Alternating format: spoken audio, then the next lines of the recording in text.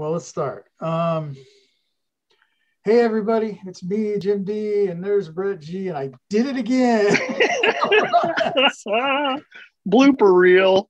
and this is Chatterbox. Chatterbox. Yep. And we're gonna start. What are we? We're gonna talk about weathering versus realism today, or tonight, or whatever it is. And um, you know, for disclaimers. Right, right, yeah, right out of the gate, I'm going to say, as I always say, and I know Brett's going to say the same thing: is it's your model, do what you want. Um, right.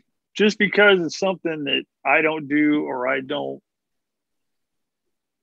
that style doesn't appeal to me personally for me to do. Right. Other people do it, looks great. Right. So there you go. As long as you're you happy, know, you're happy. So it's my opinion on what I like to do for my kids. Right right. Um and you know for me that's that's i've i've gone full circle for me. I've um you know started out as a kid with just gluing stuff together and maybe getting a paint or two at some point and and um going to painting and then and then starting weathering and you know eventually getting to where you're uh, doing the pre-shading and the um, you know the dust and whatnot and and and going through a lot of the modern techniques. And and now i'm back to um, what i call what i would call realism versus the artistic side of things. Right. You know not that one is worse than the other or they're but they're to me they're different um, as I was just saying with the photography when I did photography is, you know, you had people that were very artistic and you had people that were very technical, and you very rarely had somebody who was both. Right. Yeah. yeah. Yep. Yeah. You know, I've known uh, people like that. Yeah, and and um, you know, there's there's um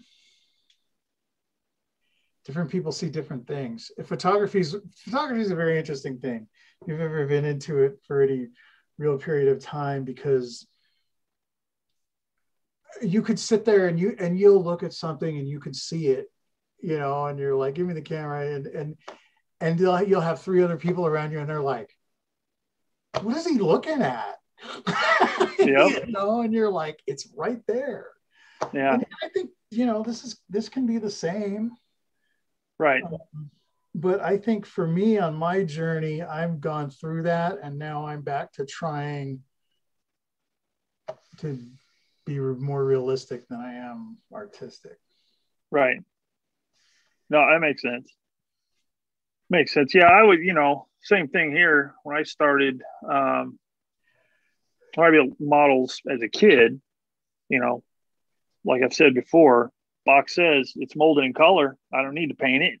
I just put the thing together and stick the decals on bare plastic. Man, I, it was good. But then when I started, uh, when I got back into it in like the mid late 80s, I was in my 20s. Um, it was at the tail end of Sheperd Paine, kind of like he was kind of getting starting to get out of it some and then uh, Francois Verlinden was the one that was coming on the scene, right. and uh, so naturally, a lot of people are trying to emulate his work and just looking at it. You know, you look at it and it's like stuff that's never been done before. It's like, wow, that's really cool, or that I had never seen before. Right. Looked really cool. So you know, I had, I still have, you know, a stack of his books. There was a lot of good things in it, and I remember even Sheperd Paine uh, mentioned um, oh, I can't remember which book it was.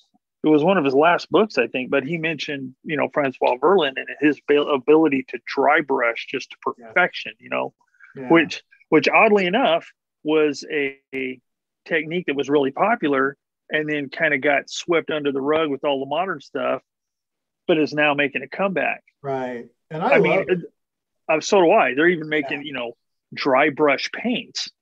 Right. I mean, you got to have a specific thing for everything. But anyway, Right. Um, so that's what I was doing, and I was getting into that kind of thing.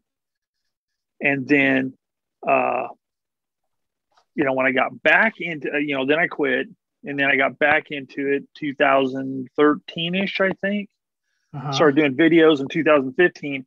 I was really using the internet, reading up on stuff. That's why I, would never heard of pre-shading, um, the chipping, all this kind of crazy stuff, and seeing it. And then, so naturally, I wanted to try and do it, and I started doing it, started doing it, started doing it, doing these different things. But then after a little while, I started looking, and I'm thinking, okay, that's a really cool technique, and that's pretty, especially when it started getting a little more exaggerated. You know, not, not my stuff, but the stuff I was seeing. It's like, but is it realistic? And at that point, you know, as for me, it's like, okay, do I want to go for these really cool techniques for technique's sake? Do I want to learn these techniques just because they're cool and they look awesome? Or do I want to try and do something that's a little more quote unquote realistic on a, you know, a small bit of plastic? Right. you know, so yeah, I hear what you're saying as far as the full circle thing. Yeah. you know, people I mean, the, the discussion is really, um, you know, well, I shouldn't say the discussion, but you hear a lot. Well, you know, it's it's a it's you can't really shrink down light. You know, the way light works and this and that. And there's there's all these reasons for doing these things. Um, the thing that I find interesting about the the whole pre-shading thing, um, you know, I don't. I think a lot of us forget that that came about a long time ago. Right and it, and it was really a way to deal with raised panel lines, which everybody hates nowadays. Yeah, yeah. but that was really, from what I remember, that is where that came from. Right. how are we gonna how are we gonna shadow these raised panel lines and so that was where the whole pre-shading and then painting each panel, each individual panel with the airbrush, trying to do each individual panel. right. Know, and unless my memory's wrong, that's that's where that all started. Um, and I, you know, I, I'm I'm kind of I'm at the point now where, well, first I'll say, um, every sub every every subject's different. Mm-hmm. And, and every airframe is different, or every piece of armor is different, and the paint, depending on where it is, and and the paint colors itself, it's all different. So you can't really. A lot of people get into this mode of they build every single kit the same way. Right. You know, it doesn't matter the paint job or whatever. But for for me, I'm not really a pre shader anymore but there are certain things it, works on, like um, U.S. Navy tricolor right. or even early war with the the blue gray over gray. Um, it works well with yeah. that with that paint scheme. Um, it doesn't work so good. Yeah, I've seen you know you see guys do it on like a natural metal finish or something. It's like it just it doesn't work. Not for me. Yeah, it doesn't it doesn't look right and and um you know so so treat you got to at least for me, I have to I treat every try and treat everything as it's as a different as a new thing, I guess. Not really a new thing. Right. But um because you know, I, I had said before that that you know, I saw that show or read that book or whatever. I think it was a book, and and the art teacher was talking to the student and said, you know, paint what you see, not what you think you see. Yeah. And you know that's a huge concept. It sounds yeah. really simple but but you know our brains are really good at filling in the empty, empty blanks. Yeah. And you know you have to kind of and i you know and well not to get off on a tangent but but that said i'm not really somebody that builds a photograph. Right. I'm not. Um, i mean I, I have reference photos and i look at them but you know, a lot of the armor guys, especially, they'll take a specific photograph and, and build, recreate that photograph. That's right. not that's not me. I don't. I I probably could do it. I just don't. Yeah. Uh, so. Yeah, that's the the build the building from a photograph. Um, I do that sometimes, but it depends on what it is. Yeah. Uh, like if I'm building a specific vehicle from a specific from a specific time period, like the M10, I've used it as, as an example before the M10 tank right. destroyer and the uh, M4A3 with the Calliope rocket launcher on it. Those were from a specific time that those vehicles were supporting my grandfather's infantry regiment. So I wanted to capture that moment in time. So that's what I did. Other times, like on, on this one here, there's there's photos of it, the one I'm working on, but I'm not using the photos except for like certain details. You know, like, you know, it's got these tracks on the front. I've, I've never seen that on a Tiger before, but it, they did it on this one.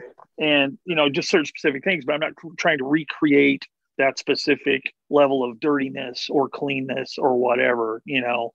Right. So it, it, just it depends on the situation for me on what I'm doing. As far as aircraft go, you know, I just kind of look at different and various uh, photos. Like say I'm doing a plane and I'm working on the stuff underneath. I'll look at various photos of that particular type of aircraft, say it's Spitfire. I'll look at different ones to see where all the oil and junk like that would be deposited or streaked or whatever. Right. But I don't, you know, I don't try and recreate every little thing. Right. Right. Yeah. You, you, it's, it's, I think one, one place where we see a lot of, or at least where a lot of the discussion is, is with armor. Yeah. And the rust and all of this stuff. And, and, and, um, oh man, you know, here comes Pandora's box. But um, you know, I don't know if you're familiar with uh, uh, the Patton Museum out there at Chiriaco Summit in California, out on I-10. But I remember when they were putting that place together. I used to drive by it when we go back and forth from Phoenix to to Southern Cal, and and um, they were just dragging stuff in out of the out of the target range, and just kind of putting it around. And then the next thing you knew, there was a building, and then there was a museum, you know, and yeah. But the thing is, is they were pulling Shermans and stuff that had been out in that desert for decades, right? Pulling them out of the desert and parking them in this lot. And they looked better than a lot of the stuff you'd see at the contest table. It's like, okay, this thing's literally been out there for like 30 something years. And, and here's a tank that's supposed to be, you know, operational. And it looks 10 times worse than this thing that's been spitting out in the, the desert out in the elements for decades. Yeah. you know, it's funny you, you, bring that up, and it's like, I, I think, I think part of, I don't want to say, yeah, part of the blame is the, the, the internet. And for a number of reasons. And you get a lot of this these theories bandied about. And i don't claim to be an expert by any means because i don't know. I don't know. All i can tell you is how my car gets weathered and you know where rust will appear on my car. Right. Although i had a 1964 ford falcon for quite a while and the the exhaust on it wasn't rusty it was discolored you know, I had that like white powdery look on it, but it wasn't rusted through and big chunks coming off. Right. And um, but you get these, you know, it's like they're wartime vehicles, so they just slapped paint on them and they just threw them out in the field. No, I, I don't think so. No. I, don't care if it was you know some people. Well, it's the Germans. You know, they were getting bombed into oblivion, so they didn't care. They just got them out. They're German. No, they they they had yeah, well, you're right. You know, attention to detail, but they had to be painted properly because now there are some countries. I'm not going to say the Soviet Union or anything, but there are some countries where maybe they did have the attitude. It's like, okay, we're sending them out right now. I don't care what it looks like because they're going to be plastered and just you know within a week or two. But we got more stacked up. That that's that's our goal. you know, right? Disposable stuff. Well, the Germans weren't going to make disposable stuff because they were running out. Of, I, I wouldn't think. Again, I'm not this big expert. It's just kind of common sense stuff and things I've read. They're not going to make stuff that's going to just fall apart intentionally or just I don't know. It just the, the, some people say that well, you know, they were only out there for a few weeks or a couple of months before they were destroyed, so they didn't care. Well, that's that could be partially true, but not all the time. So it's not like they're just going to slap dash stuff together, and then so. But on the flip side of it, that, go ahead. I'm sorry. No, I was just going to say if they had that kind of attitude, you know, it's like, okay, well, maybe they would be that rusty and nasty looking after, you know, but you know, you got the, the one side of the coin where they're only out there for a few months, so it, it shouldn't show hardly show anywhere at all, except on maybe sheet metal stuff. And then there's the other side where it's like, you know, it's like they're just going to rust like crazy, you know, like they've been sitting out in the field for the last 20 years. You know, it's like it's kind of it's kind of out of context. You know, does that make sense? Yeah, that was yeah. a lot of blabbering for nothing. Yeah. I think.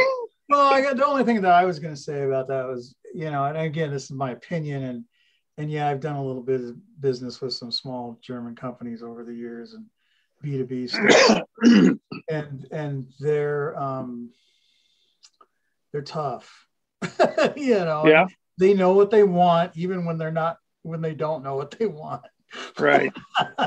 and and uh, I won't say any more, but um, and um, I to, in my head, if they had that mentality of just we just it we don't have time to do it right let's just do it just get some stuff built uh the the tiger would have never happened.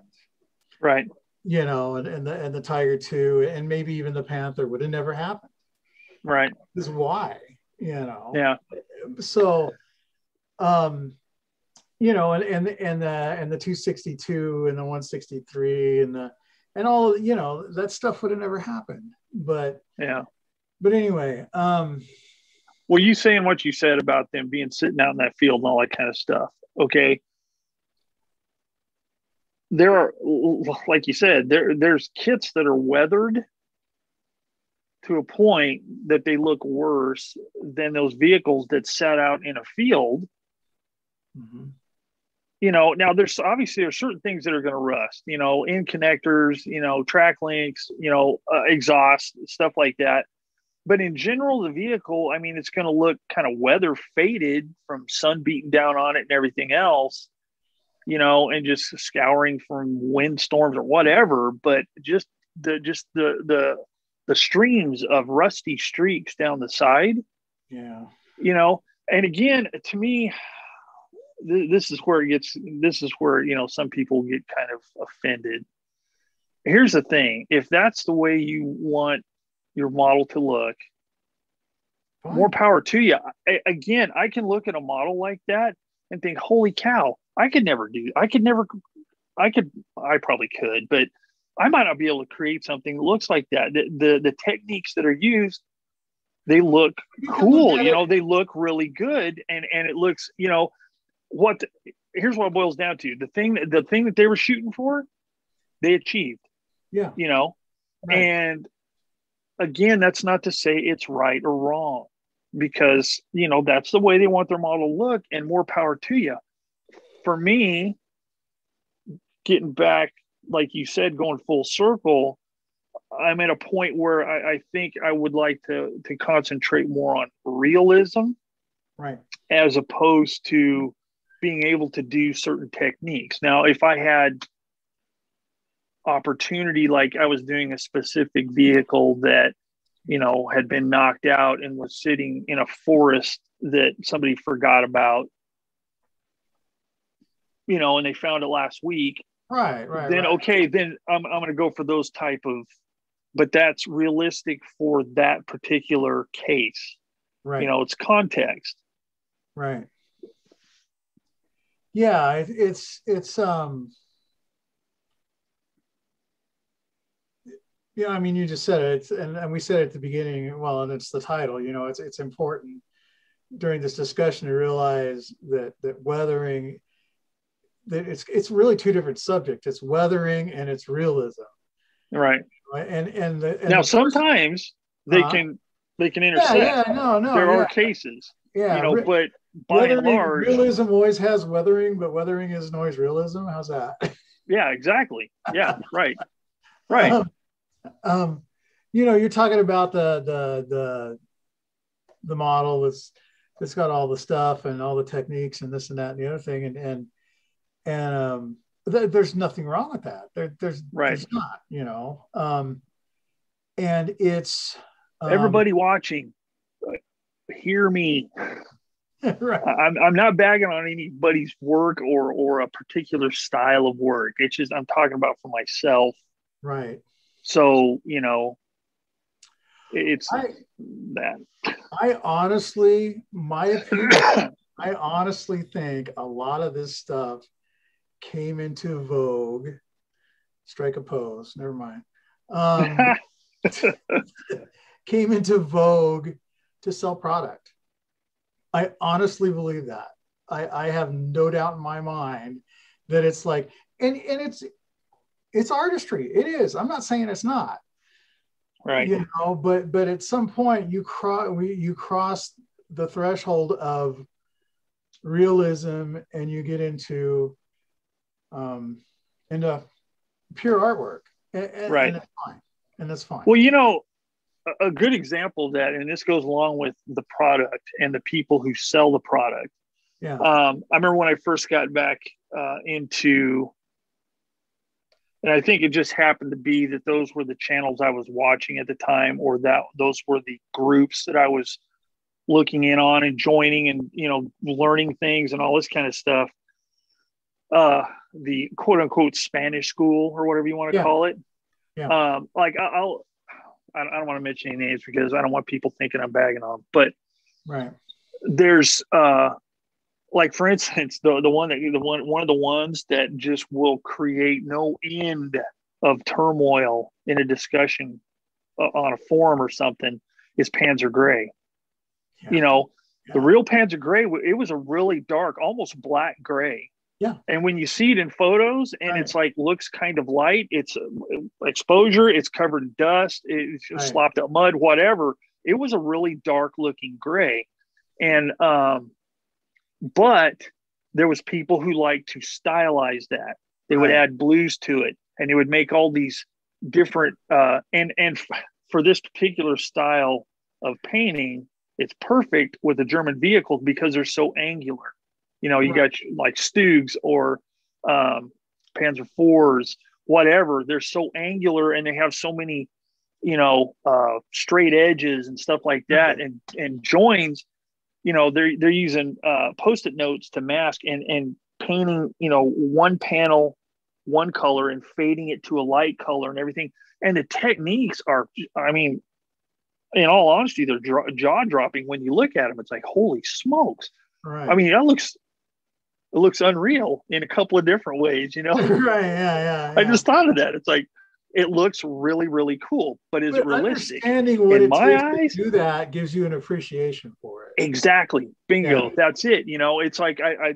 i, I look one of one of the techniques that always cracked me up was uh um and i i never did it myself but like like say you're doing a 30 uh, panzer 38t right with all the rivets or anything with a lot of rivets you know they right. paint the base color they do all their shading and all that kind of stuff and then they take an ultra light version of the color and pick out each individual rivet and small detail.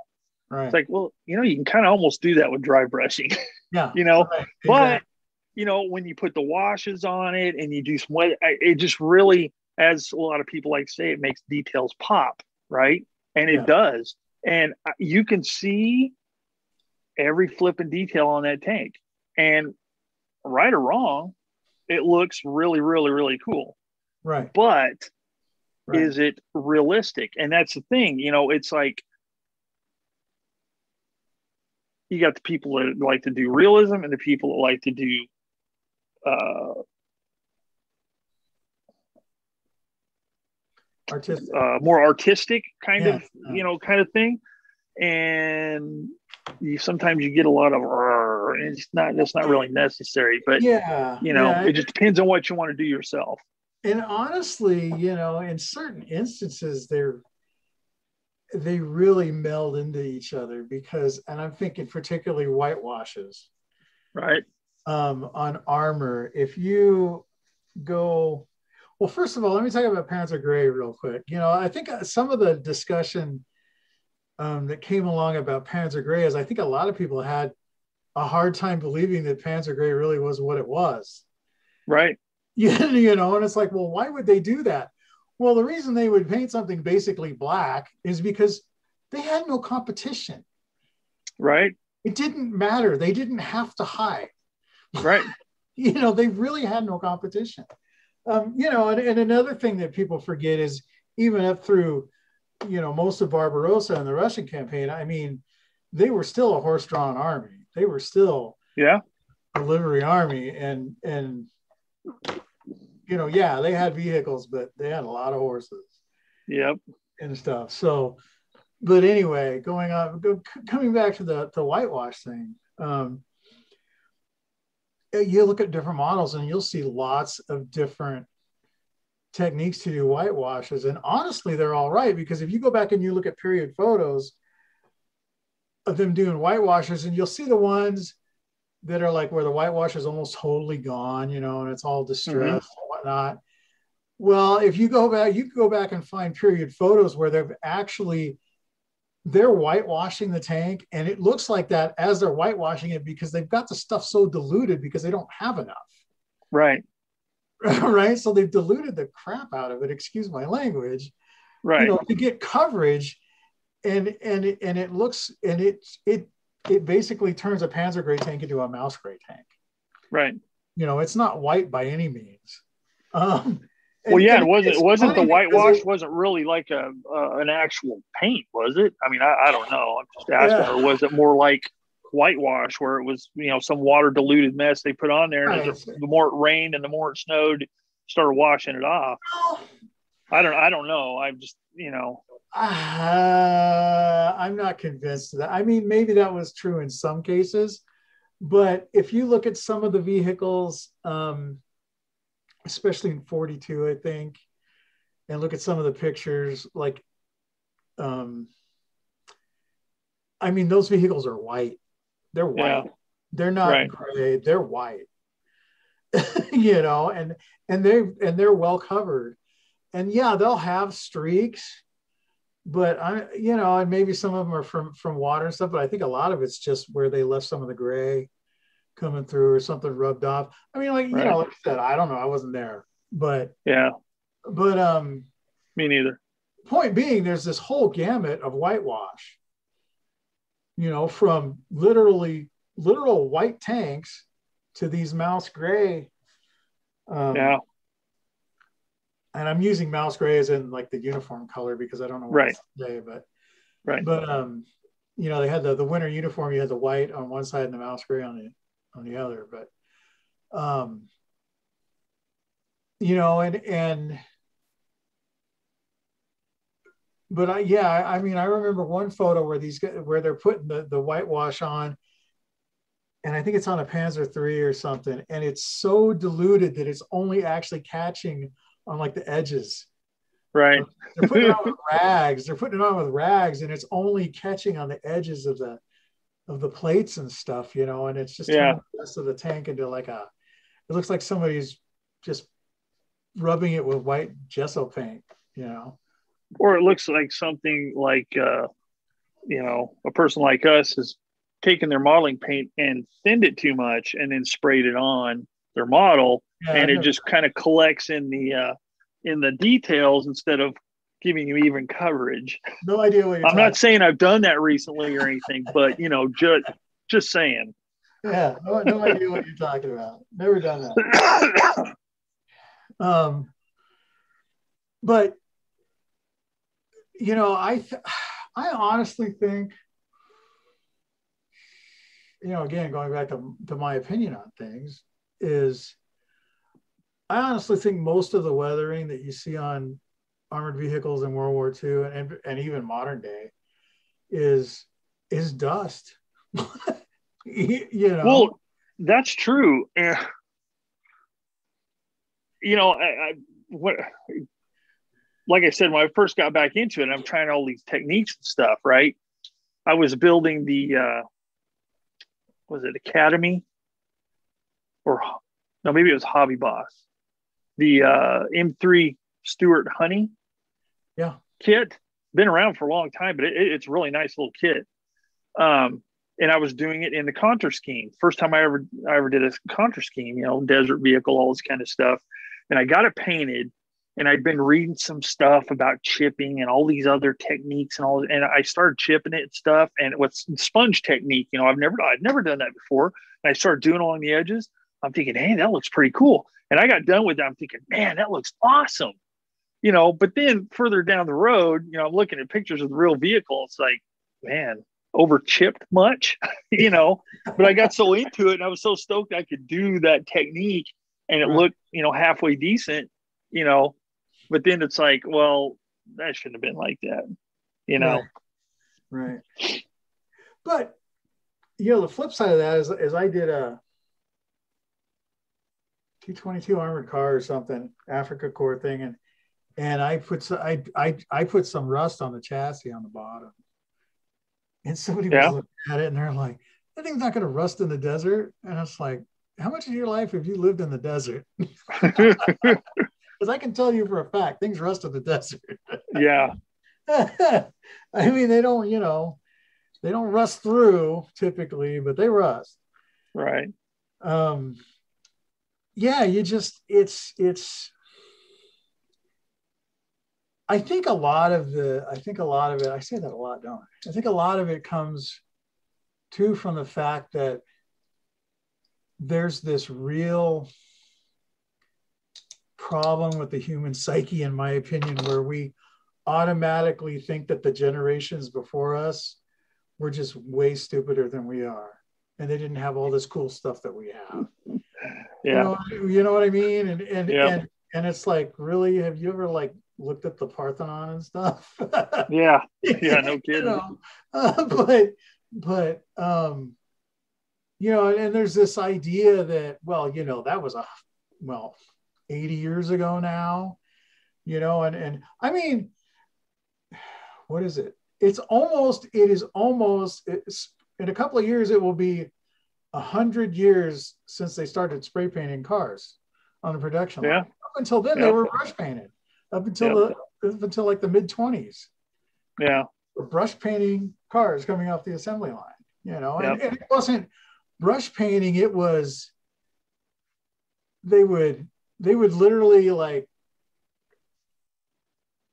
put the paint on paint and it was like pigment and gasoline right put that on, rub it out, and then and then varnish it. You know, I mean, it yeah. was a it was a major process. You yeah. know, all of a sudden somebody came up with a spray gun and hey, watch this. Yeah. you know, they were like, oh, we like that. But but um you know, and then and then well, you you found that picture earlier today of that Sherman in that big oven getting the paint baked on it. Right. Well, you know, the just the Sherman is is a good example. Like the the photo you sent today.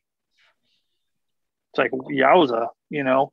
Yeah. And from from a lot of the stuff that you know I've read, and you know, again, I wasn't there. I don't know for sure.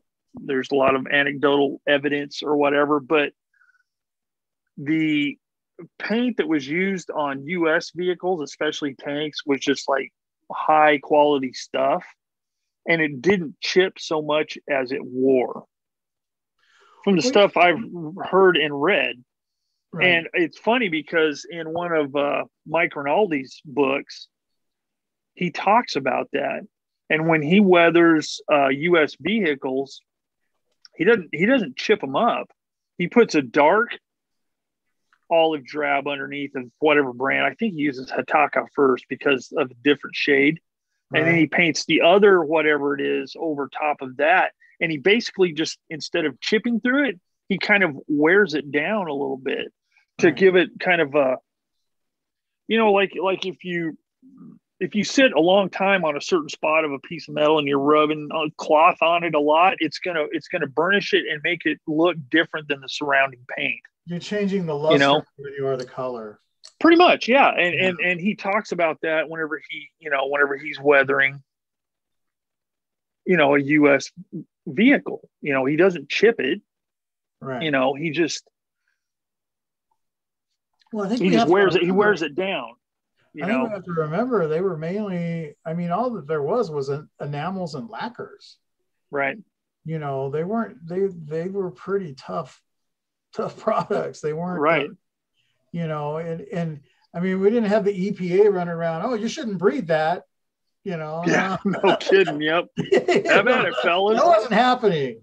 Yep. you know so um you know i think you, you know Shep Paine said in uh in in the, one of the two books that um that they were mixing the that paint paste the germans would mix that paint paste with gasoline Right. and and and that sounds odd but honestly if my memory served me correctly i think that's what they were doing in the us auto factories prior to to spraying Right. um you know like in the teen in the tens in the teens and the 20s Well, i think It's that's- just- i think they i think that's exactly what they were doing it's just another petroleum-based product that you know you you happen to be able to burn in a car to make it go. right right yeah you know so i mean um so i don't know you know but but um i think the sherman too you know is, is a good example of you know talking about the thing only lasting for weeks or whatever you know there's there's um we had a couple of guys in our club that were kind of sherman aficionados. One of them's no longer with us unfortunately but um, and and they had both you know come across information about um, you know forward depots and stuff that were you know a Sherman would get knocked out and they drag it in and th- they literally wash it out with a with a hose with a fire hose and weld the holes up and slap a coat of paint on it and issue it to a new crew. Um, That's that's what the Sherman was made for. right, Reliability and just replace some components and boom, there you go. You're ready Right. to roll again. right you know so um you know in paint you know we also have to remember that paint was um was really a corrosion resistance as much as anything else Right. you know, Yeah. it's a- it's a protective thing um Yep. so you know the, the idea that that it was just falling off in sheets and stuff is like Right. Big chips Ah. and chunks out of it. Yeah. Yeah, uh, I don't know because I mean, look at if you look at um, photos of of penetrations and look at the paint around those penetrations and and yeah, has some of the paint chipped off in some cases? Yeah, there'll be a, a piece of paint flake, or uh, flaked off, you know, maybe at one edge of the penetration or whatever. But a lot of times that paint's intact. Right. You know, just scorched a little bit and yeah, Yeah. you know, went right through it, and that paint's still Yeah. on there. so, yeah. so I don't know, you know, but but, um, an, an aircraft, you know, it's it's um, again, you know, it's aircraft. I think you you get a lot of era specific stuff, and and you get different um I think a lot of stuff we see, especially in the modern grays and stuff, is is differences in the actual grays and not so much fading and whatnot. I think just differences in paint batches right. or or, or just lighting or, or whatever.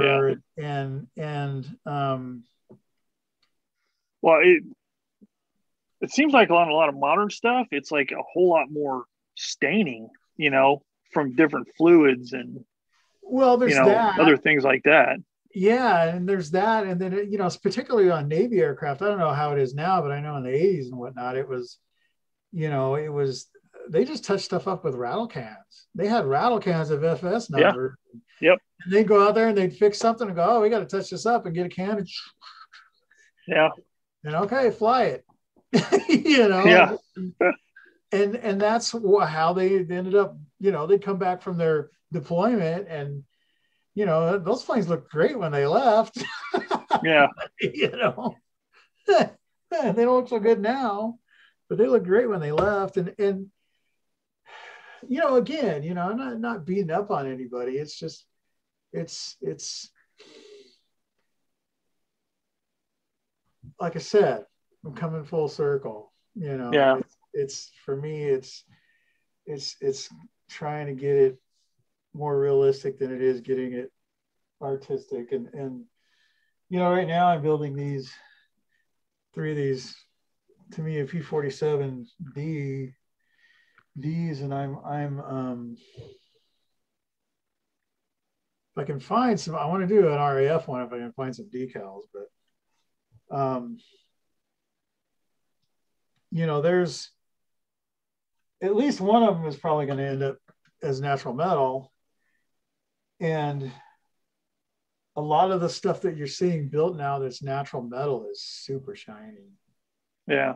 You know, and it's like, okay, I guess if you're building a warbird, that's fine. But um, actually, what I'm going to try the next natural metal finish is I got the Tamiya, what is this, the AS12 or whatever?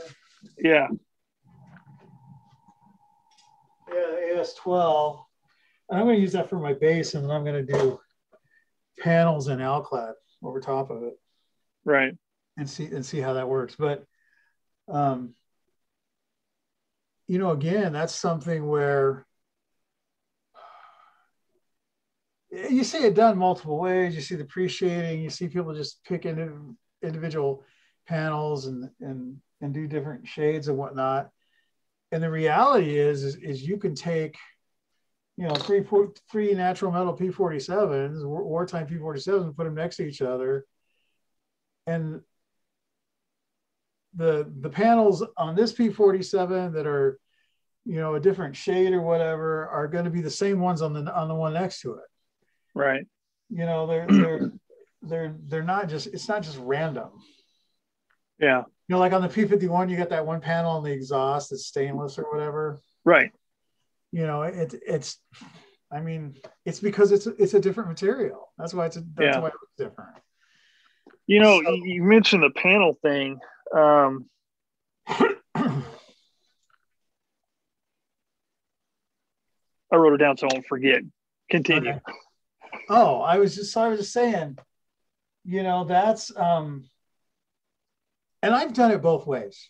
You know, I I have just I have just picked panels and done whatever I wanted, and and I've gone and and done it and you know looked at the picture and got the right pan the panels that were supposed to be different different. And and it, it looks fine either way honestly. Um but you know the the the there's an idea out there, you know, that especially with P51s that, you know, they, the crews were polishing them and whatnot to get more speed out of them and whatnot. And, and they were, but, you know, they didn't have like buffing compound and a right buffer. And, you know, it's, it's, it's, anyway. Yeah. Yeah. well, the the the panel thing, you know, you mentioned that, and um, I've I've built aircraft kits kind of both ways. Again, it's, it's that going full circle thing, like you're talking about, to where you know it's basically one color, whatever. And I'm talking about you know metal finish. Well, even even painted finishes, but um, then I've tried, you know, doing certain panels, different colors and stuff like that. And it's, you know, some sometimes it makes sense, sometimes it does. But a lot of times you'll hear you'll hear the again, you know, it's going to sound bad to people who do it, but you'll hear, you know, it's like, well, I, I'm doing this to add visual interest. It's like, well, visual interest is cool as long as it kind of makes sense, you know? Right, right. Um, it's like, it's like you take a you take a you know a war bird and it, you know it's pretty stinking interesting to begin with right. and I, don't think it needs to be embellished too much Right. um like an example here I, I read about this one not too long ago somebody was talking about they were uh gonna be painting the um the access doors for the ammo bins in a wing okay and they painted them a certain way that did not match the wing yet it Right. made complete sense Yeah, because it's a totally removable panel. It gets thrown on the ground, greasy hands are putting it back, and Right. that's the way he painted it. You know, it was metal, it was bare metal, right. but the panel, you know, it was I can't remember the aircraft, but the, the it went up underneath, and it was cool because he had painted it and he had masked around it, and then he did some like oil work on it or whatever, so it Right. looked like greasy hands had been handling that panel and put it in place. right, You know, right, it made sense. But Right. just like a random panel on the side of an aircraft that nobody ever touches for any reason, right. just to paint it a different color just to add visual interest, it's like. I, I understand where the person is going with it, but it's kind of um, not going in the right direction. If that makes sense. Oh, that's You know, such- it, it's not it's not a panel that that is you know removed and put on and removed or opened or whatever it's just a panel uh, that happens to have riv- you know rivets or whatever around it because you know during the assembly process and that's probably the last time it was touched but yeah Right. paint it a different color right. It's oh, something- of metal yeah, of metal right. It's subject matter. I mean, stuff like that subject matter specific. I mean, right something that comes to to to mind right off the bat for me is on a Corsair, a 4U Corsair. Um, you know, you'll always see the wing roots all chipped up and whatnot. And the reality is, if you look at photos, I mean, not that they're not chipped up, but the reality is, if you look at the photos, right up toward the the front part of the wing chord where the those the radiator, the oil coolers and radiators are, in in the in the leading edge, that's where the paint's all worn off. And the reason the paint's all worn off there is that's where the guys were standing when they were taping the seams and stuff on the fuel tanks because they were leaking all the time. That white tape that you see, yeah white lines on those Corsairs, it's, that's tape because the fuel tanks and the oil tanks of crap leaked. right So they would tape them to keep it off of the windscreen. yeah Well, if you look at Corsair photos, the that forward portion of that wing, right next to the to those panels, yeah, the paint's all worn off because they were constantly up there putting tape on. right You know that makes sense. That, that's that. Well, it, it may not make sense, but if you know that, it makes sense. right You know, um, so yeah, but but but the idea that that you know the the that there there's there's just the paint's going to be worn off of the the wings on every single airplane because people are walking on it. Mm, you know I, I mean they touched them up they painted them. You know they, they went in for maintenance and and uh i mean granted it depends on the theater too. You know if you're talking the south Right. pacific and you're talking marine corps aircraft you know you're lucky you had oil and stuff let alone paint but yeah yeah and, and the marines didn't care. Yeah you know, yeah. marines they don't care. Yeah. It don't it don't have to look good it just has to work. But, yeah um, exactly. As long as the guns work and the engine works you're good to go. Right, right. But um Well, you know, I, I, um, you know, the paint finish thing. Remember, I told you about that uh, when I was doing some research into my, um, you know, one of the units that my uncle would have been an air controller for in Vietnam, uh, VMF 323. Right There's a really good documentary on YouTube about them in 66 over there in Vietnam. And it's funny because, you know, you got these in theater uh, F4s and you know, yeah, they look somewhat worn and everything, but it showed them, you know, uh, connecting underneath. I don't know if they feel them from underneath or what, but they were, were connecting Okay. underneath, and you could see gloss paint. It was gloss paint. You know, it wasn't all dull and nasty looking. You know, now I'm sure there was parts of the aircraft that were like that, but you know, the thing wasn't just beat the tarnation and you know, shot. Uh, but you know, granted, it was kind of early on in, in the involvement over there, but the Air Force ones were pretty beat up. Some of them. Yeah. But you know, I don't know whether that may have been just because. No, I don't know. I, I but it just seems like you know with the, the, Air Force ones, it was mainly the F4s and the 105s that really had paint issues. But I could yeah, yeah. The, the, you know the Navy that that well, I mean they had the, the gloss gray and the gloss white. I mean they were gloss, mm-hmm. you know. So right, right. Um. Yeah, I don't know. My father-in-law was a. were, They were a Da right? Yes. Okay, yeah. My father-in-law was at Da Nang at 66 in the Air Force, and uh, the friend of friend of ours, the guy that owns the the the embroidery shop that did the hats and stuff for me. He's yeah. He was there at Da Nang. He was in Marine Corps. He yeah. Was a, he was a grunt there in '66. So all three of them guys were probably there together. but um, yeah, it was funny. So we found that out, and we got him and my brother, my father-in-law together you know, it's like you guys, you guys were there at the same time, just on the other opposite side of the base. Yeah. But um, anyway, you know, uh, it, it, all, a lot of it has to do with. Um, I think you said this earlier today. A lot of it is research, yeah. you know, and knowing what for a specific you know, if you're doing a specific aircraft or a specific vehicle, you know, and you're trying to make it as realistic as possible, you gotta look at them pictures, you know, and yeah. and and and discern what you can from an old black and white photo, you know. That's something else. And you know, you kind of have to take into context, uh, especially especially if it's something that you know um, like if if you're modeling an aircraft that was you know only in combat for a month before it was shot down. Right. Well, if you model that thing, it's going to be pretty, it's going to be in pretty good shape. You yeah. know, it's going to have some dust on it. It might have some, you know, fuel and, and oil leaks here and there, right. but it's not just going to be just a tattered mess. No, and you know, and that's that's. I mean, that kind of brings up another thing that I think you know people forget is you know, when you started getting into late 44 and whatnot, um,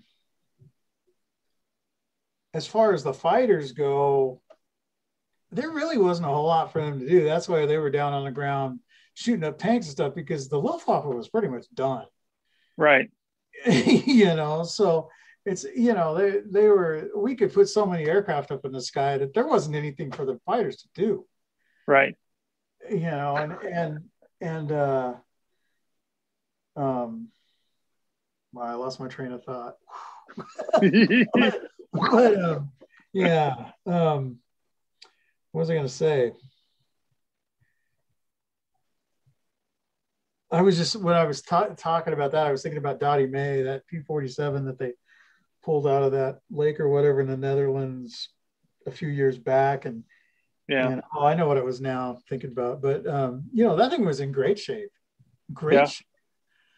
You know, and and and um um I think that's kind of a testament to really what was going on at that part point in the war is you know the fighter pilots were probably a little bored right you know, yeah. these really long missions going there's nothing for us to do yep you know and and and and i think you know the misnomer is too that that people some people have the idea that these planes were flying continuously and they weren't. No. You know they, there might have been like like well spitfires hurricanes all that kind of stuff battle of britain time yeah yes. they were coming in long enough to yeah you know they'd get the truck running down the runway the plane would touch down and kind of get next to them they'd dump some gas in it and they'd I'm being dumb. Yeah, but yeah. But you know, almost. I mean, they'd stop, refuel, rearm, let's go. Right. You know, unless something was broke and they couldn't. And even then, it was like it better be really broke to keep grounded. But right. I was going to talk about this cockpit, talking about weathering, and you can't see it, but I did I put up photos on Instagram. Um, if you want to see them, and I think they're on the ShutterAce page, the Facebook page. They should be. Um, but what I was going to say, so I went a little bit different on these cockpits. And what I did, is, as you know, is I have the ultimate. Um, I should have it right here. Ultimate weathering wash. This Yep. stuff. Sorry, my lighting's not. I've, I've heard of that. Yeah, yeah. and um, this is the light dirt. But what I did, you know, the standard thing with a cockpit is people do a wash and, and then they dry brush it and they, they chip the hell out of the floor and whatnot. And I've always been like, not buying it, you know? And, Yeah. And um, so, and I mean, I don't know. I've never really, I can't say that I've ever seen the cockpit floor, a picture of the cockpit floor of a wartime P 47. Yeah. I don't even know if there is such a thing. There might be. But so what I did with these was, first of all, I did the cockpits kind of my standard way, which base colors, dry brushing, um, go back in, paint some details. And rather than use uh, an oil wash, I use this clay-based light dirt wash. Way more realistic, in my opinion. Way more realistic. This looks like dirt on the damn floor, like when your kids track mud in the house. That's you know what? Um, that's that's right, and that's one of the reasons why I really ended up liking that stuff. Now I, I use it in conjunction with other things a lot of times, especially on like armored vehicles. But the first time I used it, I think it was on that um, that four wheel. What is it? Is it the two twenty one? That four wheel German armored car that's got the little turret and a 20 millimeter gun in it. It's like Oh, a recon type vehicle. That was, I did that one a long time ago. And I painted in Panzer Gray. And that was the first time. As a matter of fact, it was one of my early uh, plastic models for beginners series. And I used that clay wash because I'd seen it demonstrated. And I started thinking about it. And I thought, hey, that kind of makes sense because you slather that stuff on there and where's it going to stick? It's going to stick in the places you can't wipe it off, which is like in corners and along edges right. and around hinges. And it looks like built up deposited dirt. Now you can do the same thing really with, um, you know, uh, a buff colored wash and stuff like that. But, but the thing I like about this is the fact that number one, there's no chemicals involved right. and it also leaves a bit of a dusty appearance on the paint finish, especially if you're using like an ultra flat paint like Tamiya, like an oil wash. I got to gloss it, or else I fail doing Right. you know like an oil wash because it just dissipates. You know, it just uh, it just kind of like bleeds out into the surrounding flat right. surface. Whereas with that stuff, you put it on there, you can rub it off and you can rub it off to varying degrees to where you get a nice, dusty, dirty look, you know, It has it has depth. It has body. right. It's not like you're just coloring it. It's like there's actually a buildup deposit of like Yeah. scale sized pile of dirt in a corner. It looks like dirt because it is dirt. exactly. Exactly. well said. but somebody just the other day, I was looking at, um, I can't remember who it was. Man, I, I, I've seen so much of this stuff, but somebody was doing an interior on an interior. That that's a good uh, that's a good topic. Oh wait, we already did that one.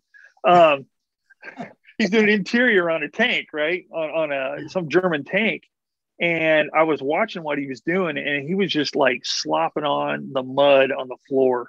And I'm looking at that, and it's like that that looks good because what he was doing is he was pushing it up against the the the rim of the turret basket and up against the the the side walls of the driver's spot. Right. You know, right.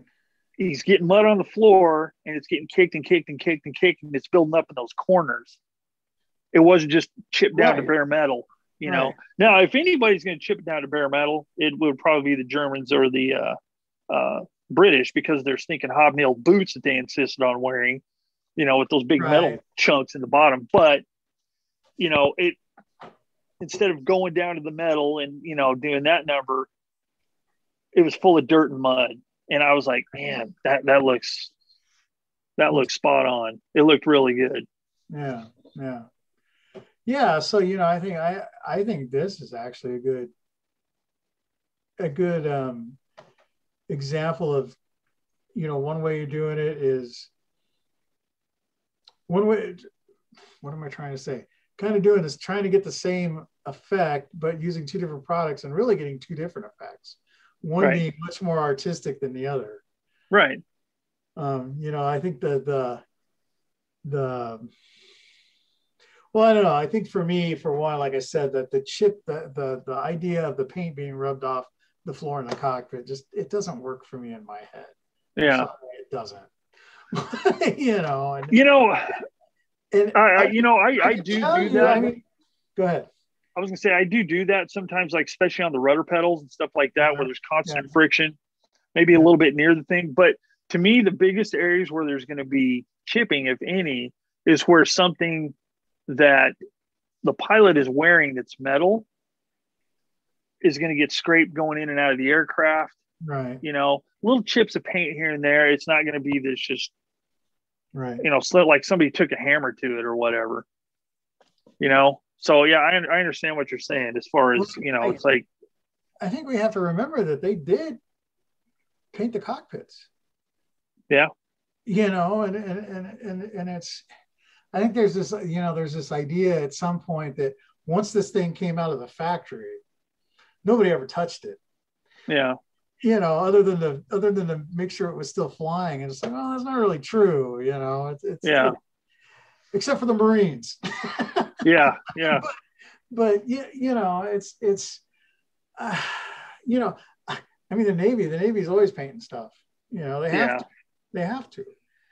Um, and and you know they they um interestingly enough at least on some aircraft they were painting the cockpits in black right you know or at least yeah. part of the cockpit in black and and, and different things so you know a lot of times you hear that um because there there's some people that that do some that I, I I don't want to say they're extreme in their weathering. They just choose subjects that have extreme weathering. Yeah. So they can practice extreme weathering. They're really right. careful in what they pick because that's what they like doing. You know, it's right. like we had talked in one of the early things. It's like, you know, there's a lot of builders that it's like, okay, yeah, I want it to meet kit so I can just throw this thing together and get it done. And I want it to look right so I can get on with the paint and the weathering. Right. But they're doing specific things for a specific reason. And people will jump all over well, no, no self-respecting crew chief would allow that to happen. Okay, here's the thing. Now, I'm not in the military. I never have been, but I've read a lot of stuff. I've seen a mm-hmm. lot of stuff, and I've known military people.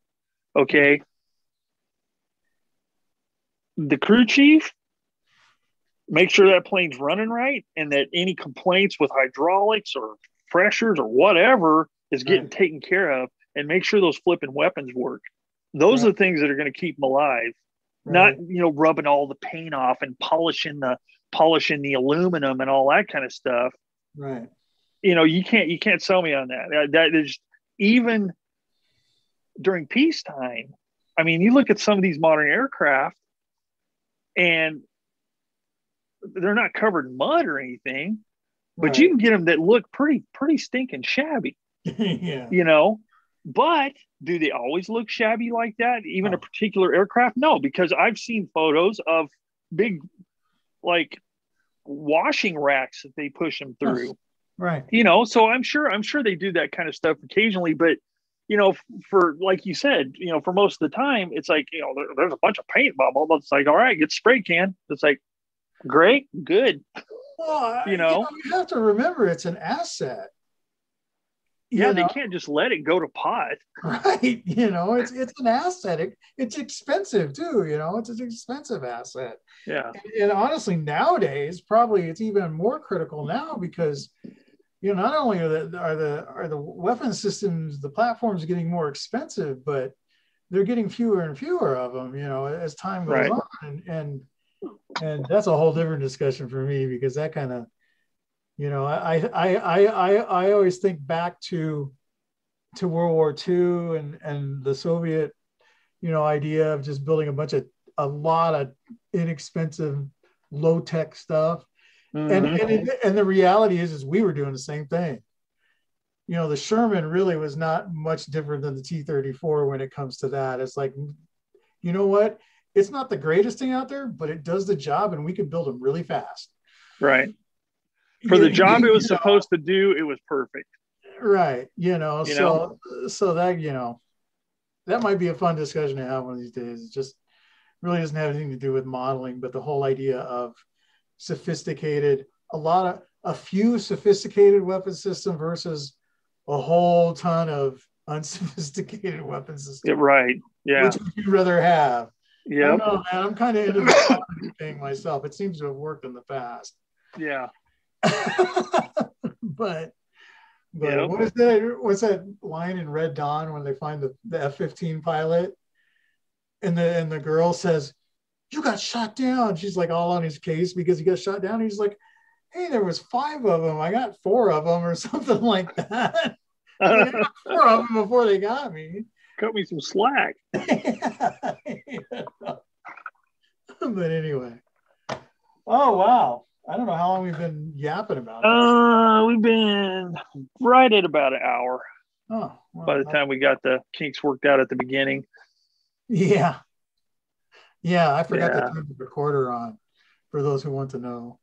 Yeah. Uh, but Well, in, in summation for me, if, if we're calling it here, um, there, you know, there, there's a balance. Um, no, not really. I just, you know, just uh, like you, I'm, I'm kind of coming around full circle. Um, trying to, I'm trying to get, trying to get a balance between the two worlds, something that looks realistic yet, you know, uh,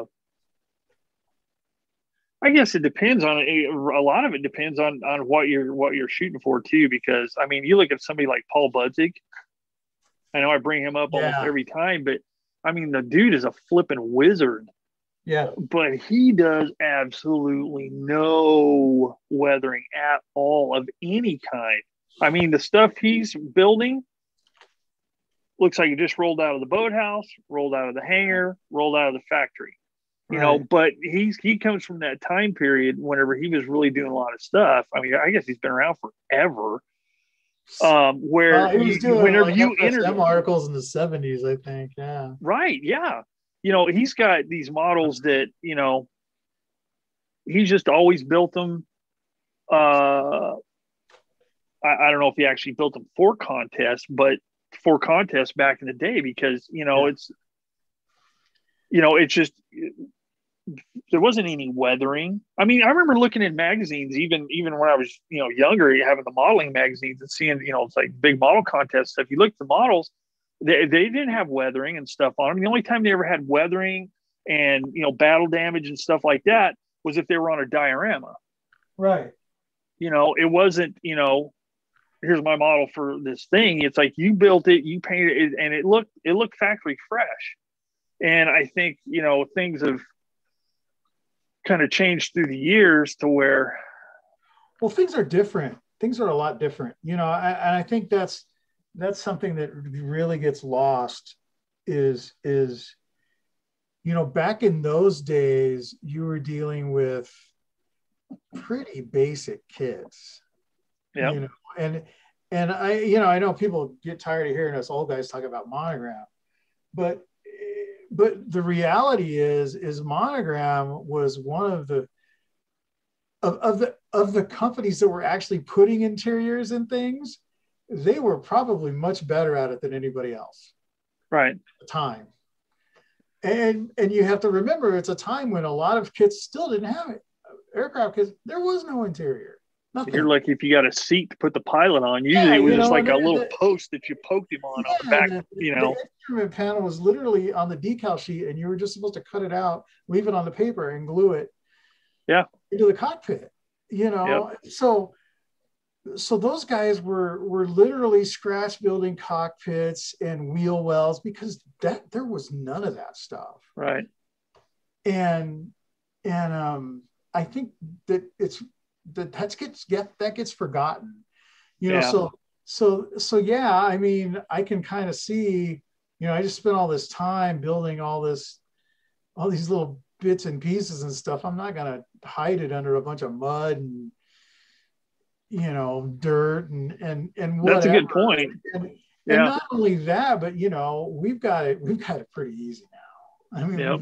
do you know and and now we can actually spend the time on on the I guess the creative part of the hobby used to be creating all those details, and that has now shifted to the paint. I just thought about that. That is that is pretty stinking good. So the creation the creative part has just shifted to the finishing, right? the construction. But you know, yep. if, you if you you know read Paul's stuff and whatnot, his thing he will tell you and he says it more than once usually is he's all about the shape that's his a number one first thing mm-hmm. is, is it is the shape right yeah and i don't and that doesn't make him a rivet counter he's just he's that's really what he likes yeah on, you know if the shape's right i can do the rest of it yeah you know so for him that's the most important thing because yep. in his head he's he's of that same school, and his head is viewing distance is a foot and a half to two feet. Mm-hmm. And at a foot and a half to two feet, what are you really looking at? Are you looking at the overall shape of the aircraft or the ship or whatever, or are you looking at the instrument panel? Like, you can't see the instrument panel from two feet away. Right. Well, you can, yep. but you, you know, so excuse me, that's that's where he's coming from. Right.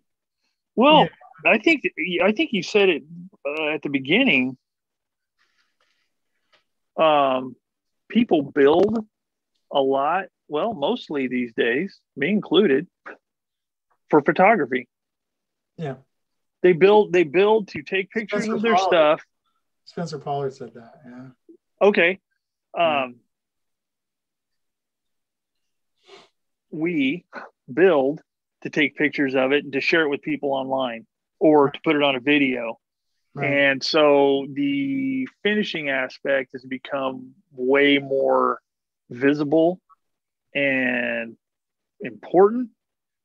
So that's bred, uh, well, a lot of products and a lot of people pushing their products, doing demos of their products and everything else. Right. And after a while, just like when I first first started getting into it, it's like, okay, this is the way people are doing it, so I'm going to try this, and did a lot of it. But then I, you know, backed off, and it's like, well, that's looks really sweet and it looks really cool. I mean, because I've seen some stuff that's just like, it's like they've painted it, but they painted it in a way like one of those really vivid uh, filters you have on your smartphone.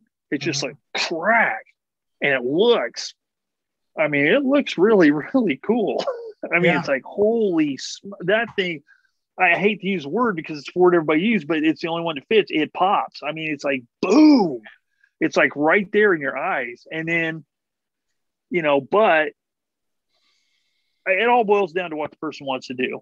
Are right. you wanting to go for a lot of techniques and apply a lot of techniques to your kit to every kit, or do you want to go for um, for lack of a better phrase, and I, this this makes it sound like there's two camps, but more realism, utilizing some of those techniques. Right. you know, that's what I've tried to start doing is like quit worrying so much about techniques and go a little bit more for, you know, what I think looks realistic. Right. Right. Right. I was as you were talking about you doing, you know, like specific color palettes or whatever. But the whole point of this was to do black and white. Yeah. That's cool. you know? Man. So it's it's it's all grays and white and there's actually well there's a little bit of black but that's pretty cool and you know it was fun because it was one of these it was a club thing. You know everybody got we got it was a grab bag build. So so the, the local hobby shop owner had taken a bunch of kits like this and put them in brown lunch sacks and you had to pick one off the table and whatever was in it. Yeah. build it. And so i'm like i'm going to do it in black and white. Frankenstein you know? man. And it was like and, and at first it was kind of like well that sounds kind of stupid but i think it came out kind of cool it was like you know what and uh um but yeah you know things like that absolutely um are fun but but um yeah, I don't know. I'm I'm uh again, do what you want. Do what you want. But everybody would... out there, really, yeah, we're do serious. your thing. Either way, it doesn't matter, and uh, it, either way sounds weird because there's all kinds of stuff in between. Right. This is just just discussion, talking about our thoughts.